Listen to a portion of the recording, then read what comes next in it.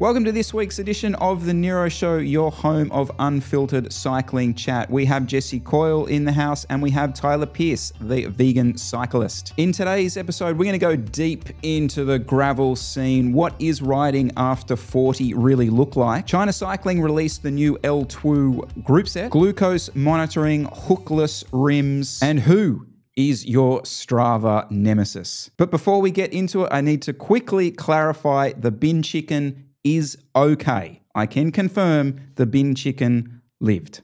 All right, let's get into it. So, gentlemen, I need your help this week. Uh, I, am the best part of 40, either side of it. You can work that out at some point. Okay, here's the thing with my cycling at the moment, right? So, I, I'm doing lots of crits. I'm I'm kind of enjoying them. I'm not particularly good at them. They're not suited to me. And I kind of been thinking a little bit more about it. Like, this is not a sustainable way to get my competitive kind of juices out of the sport because, well, like I'm kind of old. So, has me thinking about all these other events that kind of come up on the calendar. And I know I'm being sort of pushed to do sort of off road stuff. Why do I now want to do an event that's going to take three days because I've got to get there and back, and the event might take a day to do? What do you think? What do you think I should do? S- sell me on this stuff. Yeah, well, so you do a lot of crit racing, right? So that's like how much that cost? 20 bucks. 30 bucks? Yeah. 20 bucks. All right. Well, imagine a sport where it's 15 times as much.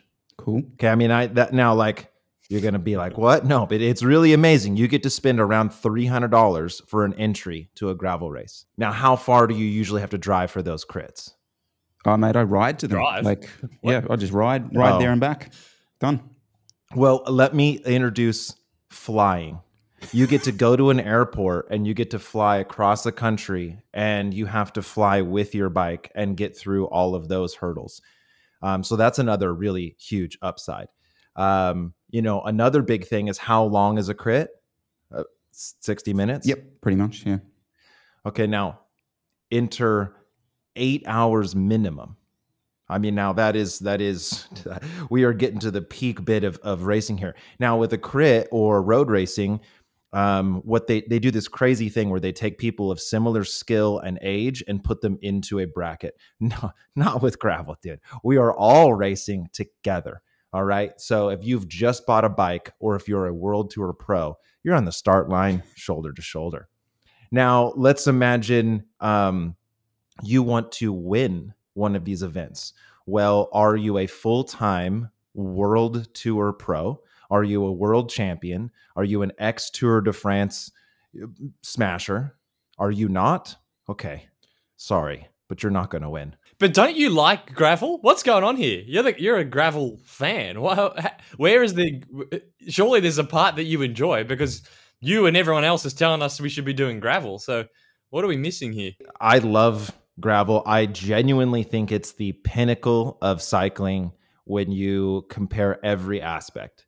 You can't just be a one-dimensional rider. And I think crit racing is is pretty much like as one-dimensional as you can get. I mean, you have to have obviously amazing bike handling skills, but if you are packing an 1800 watt sprint, it's going to be very hard for you to not do well in a crit right? But that doesn't matter if you go into gravel. You, you could you could uh, um, Ashton Lambie, world record holder, right? Track star. I mean, just an absolute beast, and that skill set doesn't really apply to gravel racing because by the time you get to that finish line, you have had to have so many things go right you know you had to have the luck but you had to have the feeling and you have to have the endurance and you have to have the race strategy uh, you have to also know who to go with and who not to go with i mean there's so many dynamics to it that it makes it for someone who isn't the best in one discipline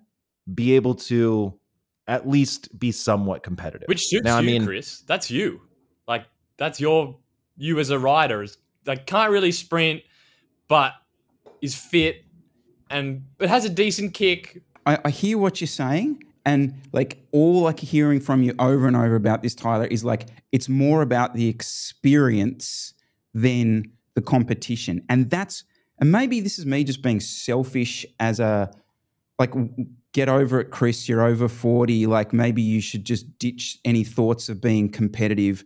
But like to me, like I love the bar to not the bar to bar physically, but like obviously, but the trying to attack guys in groups and, and that sort of basically trying to win. Okay, that's that's actually what I'm saying. I, I actually try and, and would love to kind of win things, podium things, and all I'm hearing really from Tyler is like you're going to have this amazing experience. It's going to test your inner soul and all that crap.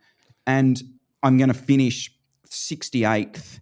And then I've got to try and tell my wife that I had a really good day out finishing 68th. And my nine year old will go, well, Is this is that a finisher's medal, Dad? Like they give you medals for finishing? Like I thought you only get a medal for winning. Like, yeah, okay, but okay, so so 68th would be pretty bad. I mean, the thing is that there's huge numbers. You know, a lot of times you're racing against a thousand people, and so top 100 I know sounds like, you know, not that great. But look, if you get 25th, the the 24 guys ahead of you are usually full time pros, or like this is what they're doing. And so you, you know, not to stand on the shoulder of giants, right? But like uh, at, at Hico, at Gravel Locos, I got ninth. I got top 10. And first through eighth were all professionals. And so I was like, hell yeah, dude, I'm like among these elites that I really shouldn't even belong here. Uh, but I was able to, you know, to do certain things that wasn't just like my FTP was massive. And the race aspect, look, it is it is some of the best racing you'll find because it's not just like oh, this guy hit the climb and he's gone. You know, he hits the climb and maybe he gets a gap on it, but you're a good descender.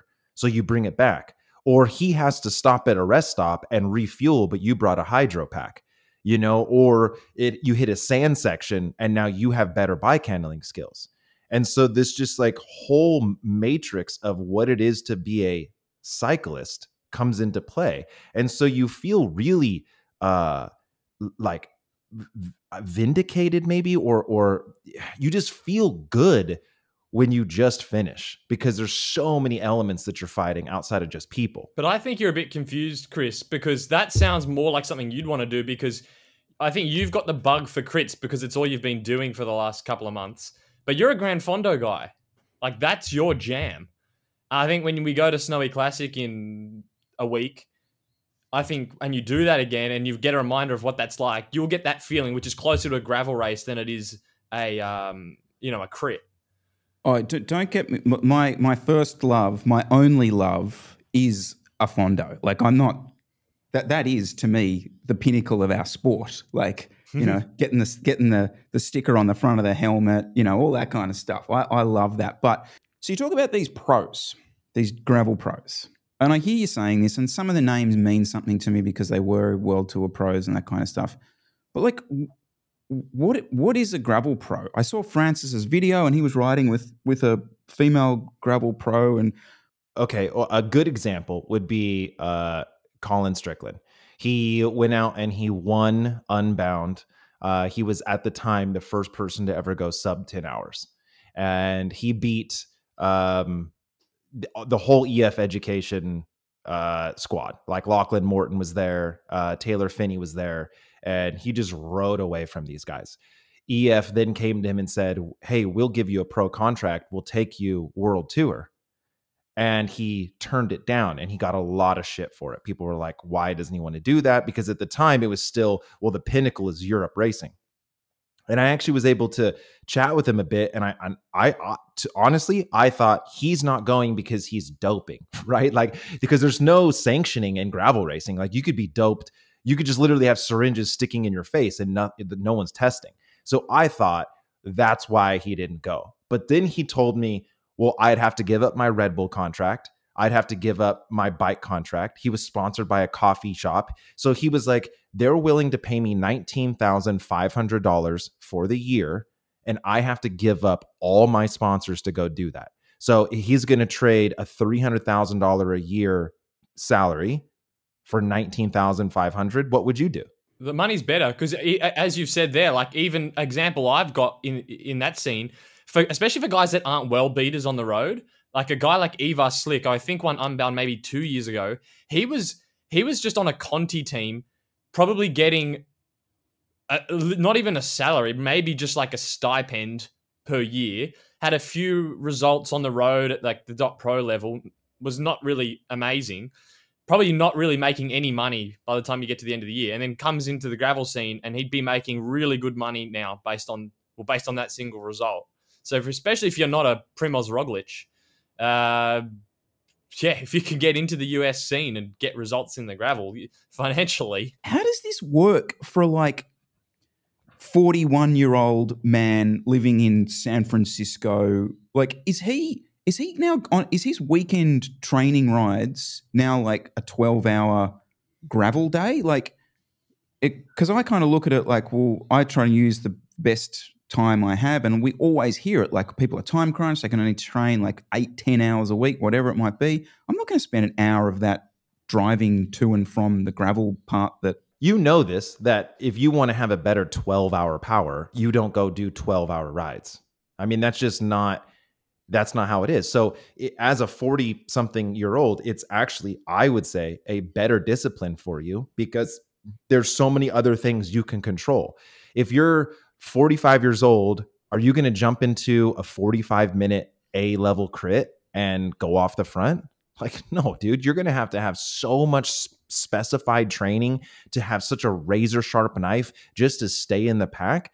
But with gravel, you have a little bit of bike handling skills. You know, you choose the right tires, you know how to fuel, and then you average 220 watts for hmm. eight hours. No, well, I think that's the part exactly I don't like. That you basically starting, and then you're like, well, you know, 10 people are going to get a 10 people ahead of me will get a flat. One will break the chain. Three will crash. Uh, it's just like the snipers taking out everyone ahead of you. And then One so guy will drop of, his GoPro. Yeah, yeah. You're kind of getting result off the back of relying on other people fucking up. It's like, I don't know. It's a weird kind of uh, reverse sportsmanship. That's the other thing is I don't understand when people go, gravel stupid you should only do this or or you know you crits are stupid you should only do that. Do it all. Like it's not a big deal. You you can be well versed all right guys let us know down below. What should i be doing? Should i be getting into gravel stick with crits? Is it all just overrated? And this camera angle is brought to you by someone who gave us a super thanks not long ago. We're going to have a few different camera angles that allow us to do a few more of these as we go along. Youtube updates china cycling his youtube channel. Uh, he did a video releasing the first look at the LTWOO electronic group set. So we're finally seeing the Chinese group sets go electronic. So it's a 12 speed uh, group set. I didn't really care too much. You know, proof will be in the pudding. We're going to see when it comes out. But damn, that looks like Shimano. I don't know how they're getting around, or they don't care about patents or whatever it is. But I mean, that's that's a that's a Di2 if I've ever seen one. All right, I, I still kind of feel like this is fake news, and it's it, it will get there. It will definitely get there, but this is just not the finished article. You haven't used it, Chris. So you're going I'm going to I'm going to all right. So here's the thing cuz you're doing similar to what so the new SRAM Eagle thing got released and Peak Torque did a video on it. And here's my here's my thing. New product comes out. Neither you nor him have tested it. So fair enough to look at the pictures and say in theory with my engineering background I don't think this is going to work, and I think this could be problematic, and I think this this is no one knows until you test the stuff. So I appreciate looking at things from a critical point of view, but until you've actually tested it, you, these are all just theories about stuff which may or may not work, and you don't know until you test it. So this sort of the speculation around the products is kind of like let's just be like it sounds right. funny coming from me, but let's just be optimistic until you've yeah, okay. seen it. no, I'll, I'll, give you that. I'll 100% give you that. But my, my kind of pushback is this stuff is being launched like it's legit. Yeah, I, I watched I watched that video, and unfortunately, it didn't fill me with confidence. Guys with flat sneaker shoes doing a descent, and then like uh, women riding up a climb, but the, the camera was just focused on the lady, not on the shifting or the gears or anything. And then the, the shot of the gears changing was like this bizarrely out of framed shot with the the chain slapping about the place, and I'm like, is this is this selling me on this product? Like, are you kidding me? That part of the video where he's talking about the uh, the actual product wasn't even the bit that really struck me the most. The bit I was most keen about and most hyped about is this business that he's starting, pandapodium.cc. So let me explain this one. So Joe from China Cycling that runs that channel, he lives in China. He's worked for WinSpace. He's in the industry. He can go and see the, the brands and the factory straight up. So he's starting a business where he's got, he's basically hopefully going to be the worldwide distributor of a bunch of these Chinese brands. So on the website here, Panda Podium, he's got WinSpace, LTWOO, Magene, uh, XCadey Power Meters, Yoeleo, who we chatted about last week. And this, I feel, is a potential game changer, industry changer, right? Because you got him, he can select the brands that are good which is the most important part. You got an AliExpress, you don't know what the fuck you're getting. It's a total crapshoot. So if you can have someone like him that can actually test the products in person and say, okay, I'm going to stand behind this and list it on the website, that's a win. And then if you can go here and this was always a, my problem with these parts is you're ordering i'm going to get wheels from here and a saddle and then a power meter and then a group set and then you've just got this mishmash of parts from all over the world uh, if he can if you can go on his site and essentially spec up a whole bike from frame to handlebars to group set and have that all shipped to you from him as a distributor. Well, uh, I know Joe. I've talked with him a little bit, um, and you know, uh, WinSpace and Lund Wheels have have um, done a lot for my mm, uh, race team, and I've chatted with them, and you know, there's some talk about trying to do some stuff with Impossible routes, and uh, he's he's really a nice guy, and and is trying to do some really cool things in the industry. Fair play to him, Joe. Is it like that? Is that's a big responsibility, like in terms of putting your name next to a lot of these brands and then distributing them out to the world. There's huge potential there, but I would um, say there's there's risk and you know, fair, fair play to him for having a go at this. Like this could be a, a life changer for him. Yeah, it's just I don't know how he's going to get around like the distrib- how he's going to be a distributor. Like, can he sell to me in Australia? Because there's already Australian distributor, so he's going to have to really get friendly with the uh, the manufacturers and the brands to be able to sell them where he needs to. Because yeah, it's going to be shit if you can't ship them to the countries you want, or have it like, oh, I've picked ten products and only half of them I can come to Australia. That'd kind of ruin it. Do you want to talk about the new SRAM thing? I mean, I don't really have a take on it, but you got any take on it? I think we're gonna have you, to go you... to Tyler to this one. I I didn't. I've got no freaking idea about mountain bike group sets. What's my opinion? Well, so I run mountain bike group sets on my road bikes. I have this SRAM Eagle. I don't have this new one, but I have the SRAM Eagle uh, derailleur on my Aeroad, my Ultimate, my gravel bikes, my time trial bike.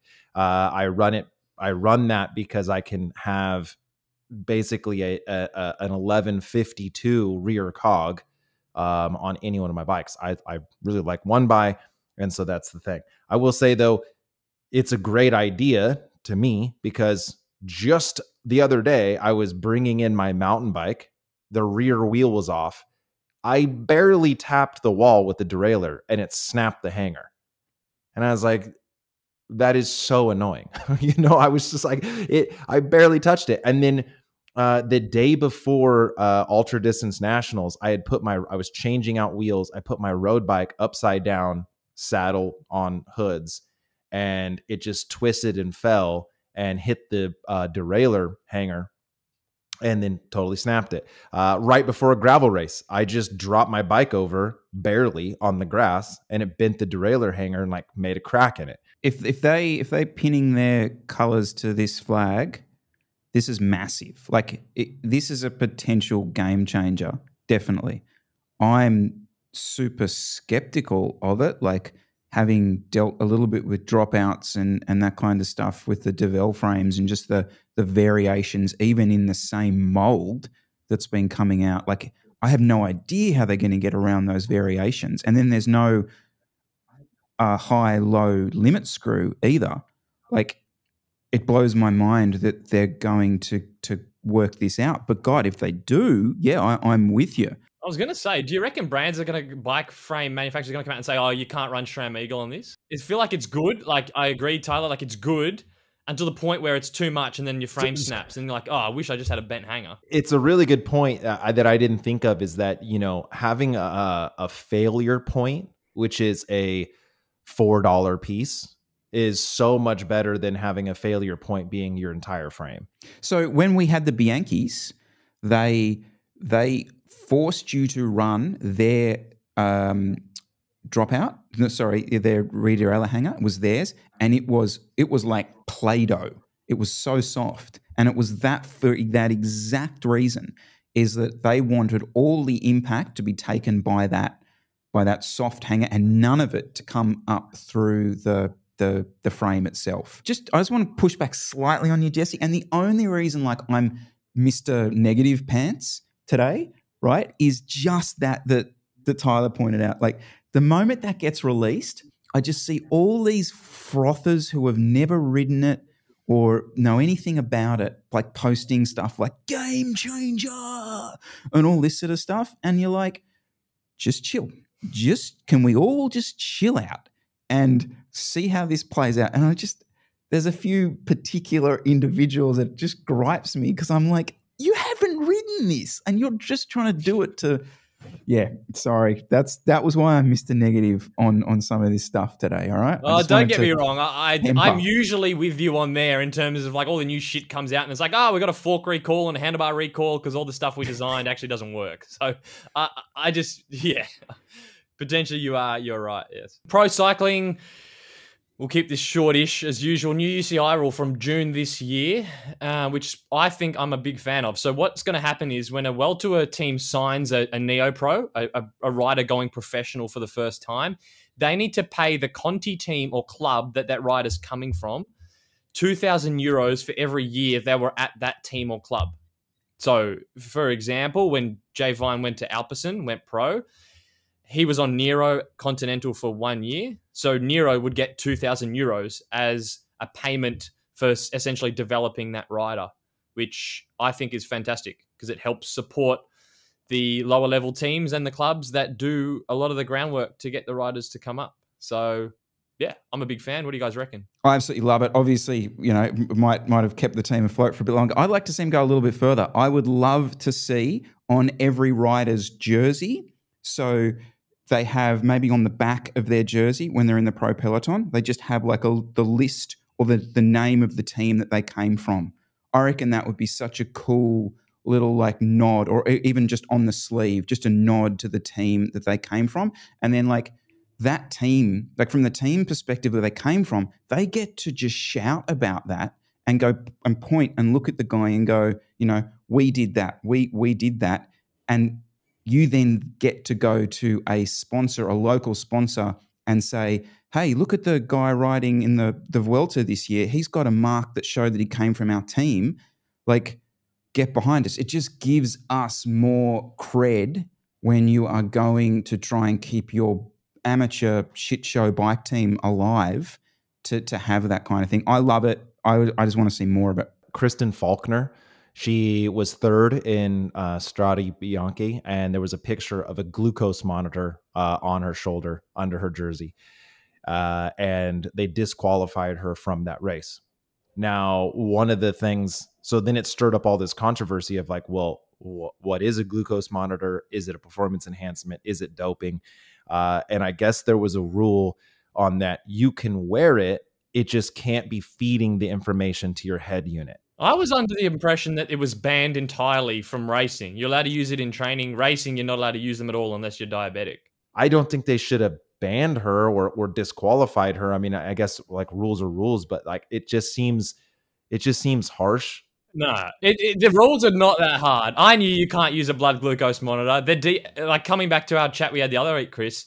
The DS knows you can't use a blood glucose monitor. It's the it's the team's job to make sure the riders are. I mean, she could have genuine just genuine be genuinely been clueless in which case the team needs to needs to sort that out. So from what i from what i understand there was a gray area about the rule being that is you could wear it as long as the data wasn't used. I reckon you've been on some uh you've been on some kristen faulkner kool-aid. I'm i almost 100% certain they are outright flatten out banned from being anywhere on your body when you're racing in a uci race I wouldn't have thought it's particularly relevant as real time information. So I don't even know why the team would put them on her, like if, even if there was a grey area, because you know it's as I said, it's not like that this thing is going to indicate a situation that you can rectify necessarily during the race. From from So- what I can from what I've read, it's got it's not really going to be used.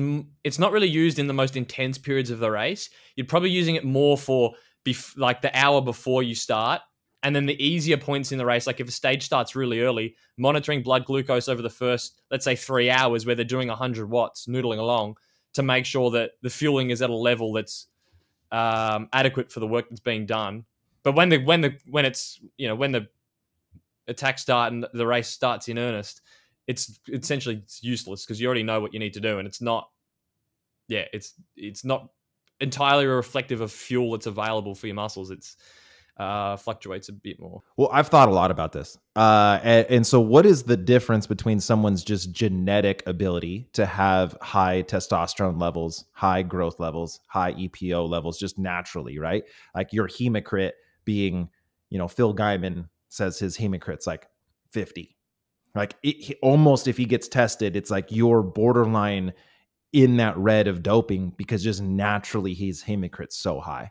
And so, is it how would it be doping if someone had low test levels and low hemocrit mm. and they took something that got them even Chris is You know five foot who's just eight. I'm six foot there. two. See, I have a genetic advantage. Just that's Okay, the whole this- point this of is- this is this is a rant. I'm sorry, but I'm off.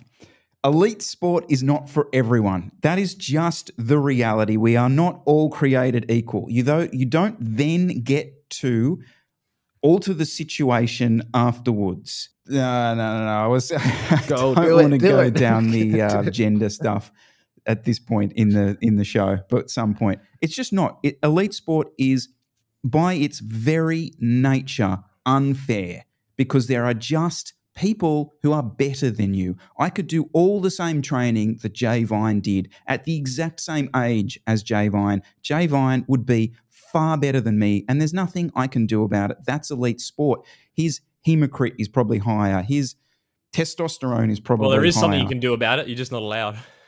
Exactly. and that it's fucking super simple. Sorry, I shouldn't swear.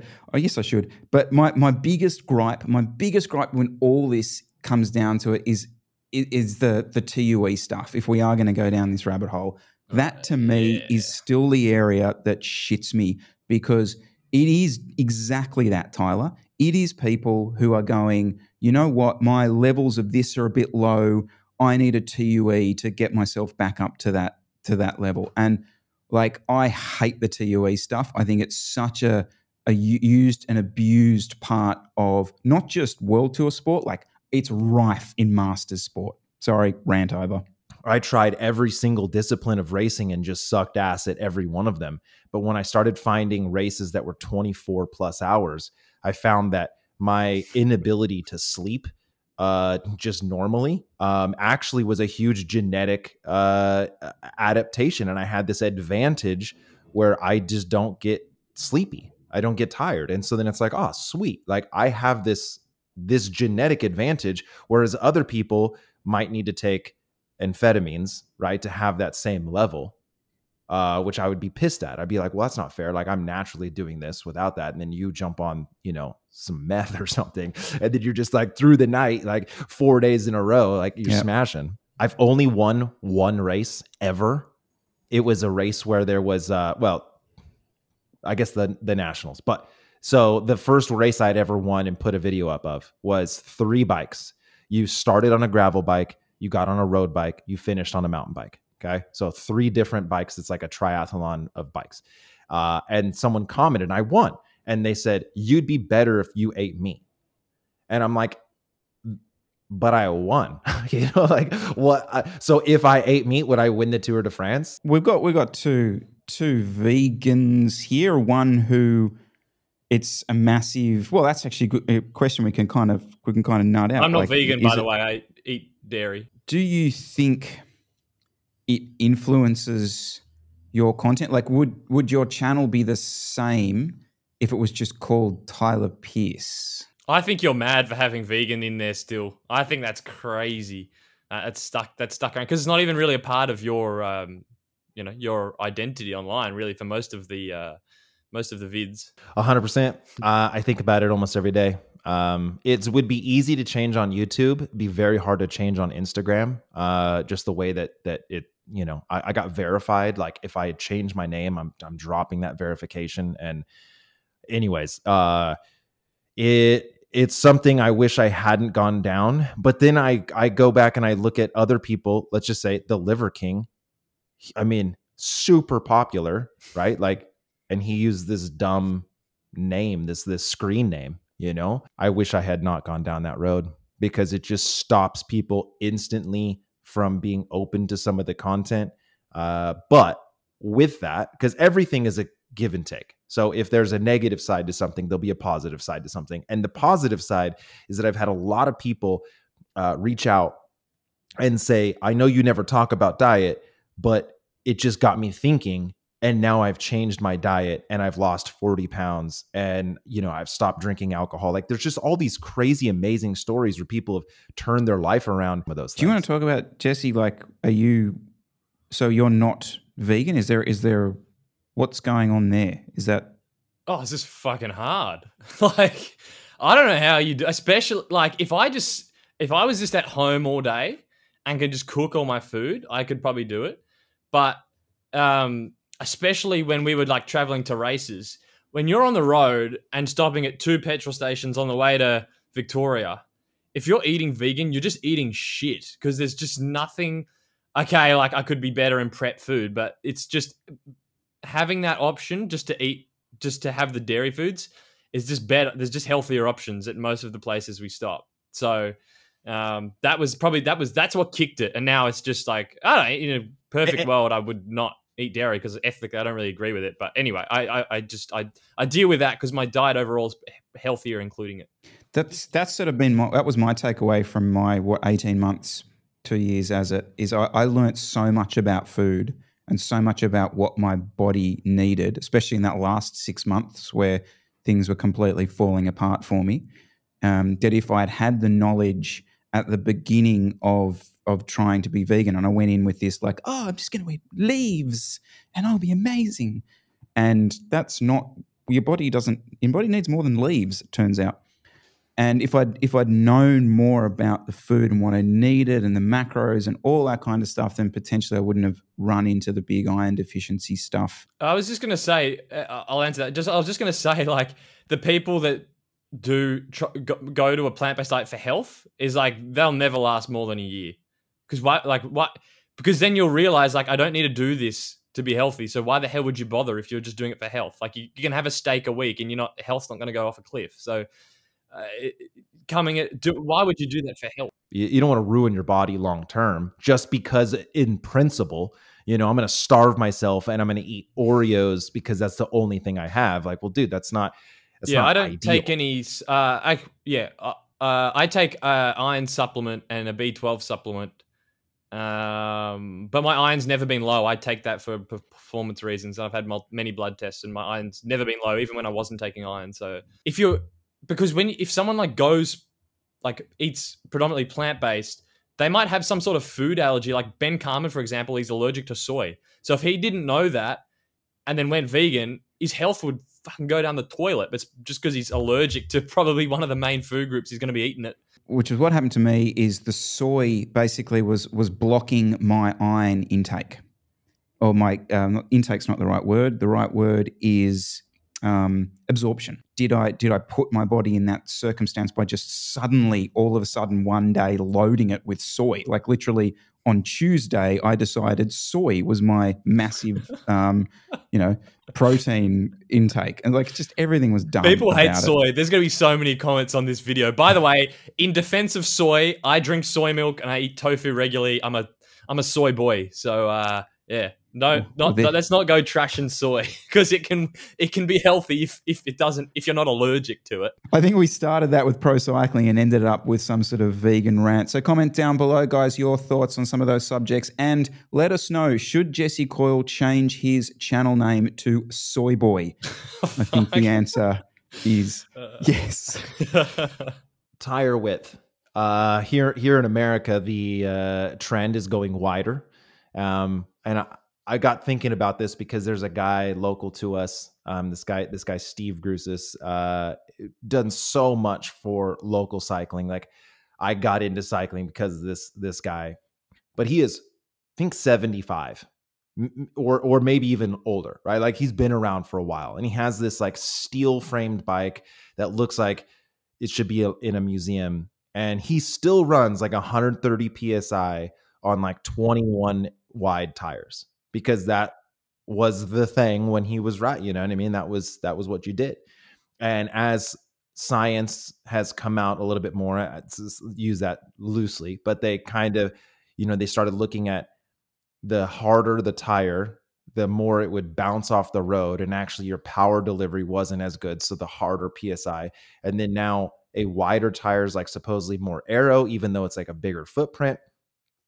And so I saw in a very short period of time, you went from 23s uh, were a thing, you know, to now I wouldn't run anything less than a 28. Like my road bike has 28s, my training bike has 30s. I love it right? For tubeless. Uh, uh, I run Cadex, so it's tubeless plus hookless. Um, and actually, just recently, I was I was riding. I got a small little, um, you know, piece of glass in the tire.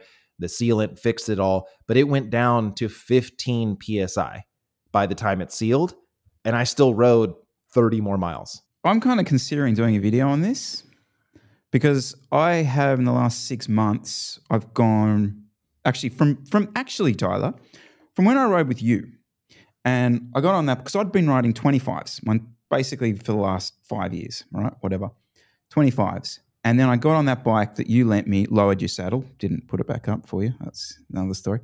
Um, and you had 28s on that. And I was like, I got on that bike and I'm like, oh yeah, I can, I can, I can see there's something in this. So when I came back, put 28s on the on the, the bike. And since then, I've gone 28s, I've ridden 30s, and on the uh, the titanium bike, I actually had 32s. And there's just this overwhelming kind of chat about like, well, you know, wider's faster and you know, it's better rolling resistance and all this kind of stuff. But what they don't tell you is that only under certain circumstances, and the biggest circumstance being the width of the rim. The manufacturers tell you what the recommended tire is. So if you've gone and run a 28 on a rim that is designed for a 23 because some bloke told you it's quicker, that's your fault because the info's been out there if you if you went and looked. Did you consider Cadex in your when you were looking at 80 mils? No, because I don't want hookless. I don't get hookless. What is wrong with a hook? don't know. You know, I'm a uh, hooker. It, that it sounds cool. It, it, it so so from what I understand, uh, yeah, from what I understand, and this was this was me getting information from people like in the industry uh, that wasn't affiliated with was that it was a manufacturer um, benefit that it wasn't so much a performance benefit, but they could make the rim they could manufacture it in one piece without having to have this secondary piece, and so it just made it easier to produce. Um, and and so not necessarily that it has like this crazy performance benefit uh, outside of it's just better for the company, but then they obviously want to spin that into some way of like, oh well, it's really better for you. Uh, speaking of Hubbards crashing, uh, Chris, you've been riding uh, some some routes on the weekend, and you're seeing a lot of weird number of crashes. I swear every Saturday I get a text being like, "Oh, yeah, another one down Bobbin Head." Well, I don't know whether this is this has been happening this whole time, or just all of a sudden I've started noticing this. But yeah, doing doing some some stuff out around Bobbin Head, which is like you guys have potentially seen me talk about that place on the channel in the past, but it's just a climb. It's a really popular area in Sydney, but it is it's a climb, so it's an uphill and a downhill, right? And every weekend for the last month, someone has binned it on the side of the road. And one of those days I pulled over, two of those days I pulled over to kind of help the guy out, whatever. And he was fine ish. But I'm watching these people come down, right? I'm watching them come down past me. And I would say 70% of them are all descending on the tops.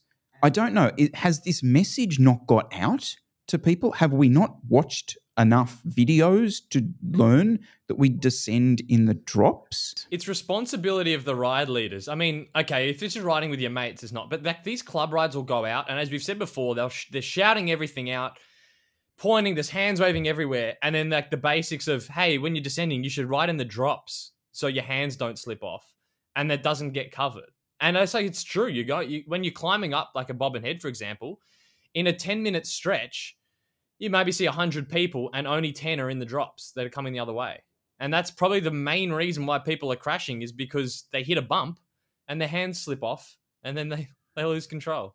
So just drop like you sh- you need to descend in the drops. Maybe it's a sort of brake setup as well. I think a lot of people don't use the drops because they can't reach their brakes as well, and that's just a setup thing. Bring the bring the lever in. I actually like descending in the on the tops. Um, I, I feel more comfortable there.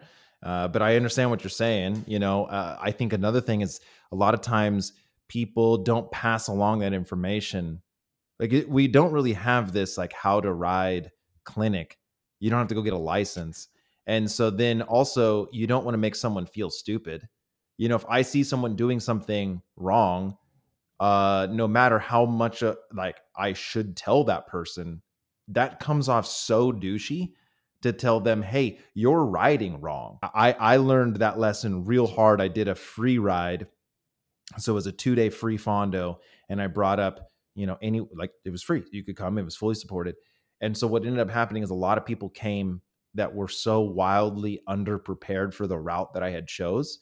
Obviously, Chris, you and I did that route together. Um, so you know, you know, part of that route. Anyways, uh, instantly the very first sharp turn and i told everyone hey there's a really sharp turn huge crash people flying all over the road blood everywhere and i'm dude we have gotten three miles into this ride and there's already people like almost having to go to the hospital and then there was a guy who came and he had a backpack full of his clothes with shoes on flat pedals and he was on the front drilling it and I told him, hey, man, we have like 6,000 feet of climbing and 30 miles.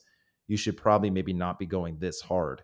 And then he, he was like, I know what I'm doing. I've been riding for a long time. And then, you know, mm. couldn't finish the ride, completely detonated himself. Do you have a Strava nemesis? So a Strava nemesis is someone who you log, well, this is this is my reading on it, okay? is someone that you will log into Strava and you will start scrolling and you will see their ride. And it's it's this one person and you will it's not that you're necessarily competing with them in fact you might very well be friends with them but you're going to go straight into that ride to see what they did there you're going to analyze it you're going to oh god did 410 up that oh that's you know do you have one? Oh yeah sam hill ex teammate from last year. Similar. So the, the the reason to get a nemesis, they have to be like similar power output because like I can't be your nemesis because I'm 20 kilos heavier. So the power's just like doesn't make sense. It has to be someone on a similar level. And you're kind of going in like, oh, I did an FTP test. Oh, they're oh they're only at 380. Oh, geez, I'm at 390 right now. But then like he'll come and smack my ass like six months later. So you got yeah, definitely I'd say Sam. No, yeah, I had um a, an ex teammate, this guy Chaz, uh, who I would say is like a friend frenemy, right? Um, casual in in acquaintance, but um, if he gets this KOM anywhere near me. I have to go out and get it. And then I get it. And the very next day he goes and he gets it. And, you know, we've really elevated each other a lot because we both don't want each other on yep. top of Whose is yours? That's a Strava nemesis. I can't pick yours. I've been trying to think. So, oh, come on. To- you can totally pick mine. Seriously? No. You can't no, pick it? No. So, my, okay. My, mine's a little bit weirder in the sense that it's certainly not KOM based. It's, uh.